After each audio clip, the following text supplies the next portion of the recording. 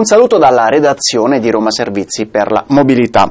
Oggi le metropolitane seguono l'orario prolungato con le ultime corse dai capolinea all'1.30 di notte. Da ricordare che il sabato e anche il venerdì i lavori serali che stanno interessando la metro A sono sospesi.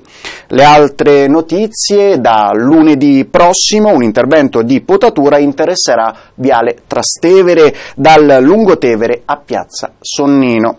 È prevista una modifica alla viabilità e saranno deviate anche le linee H e 8 bus in direzione dei capolinea di Capasso e Casaletto. I dettagli su romamobilita.it.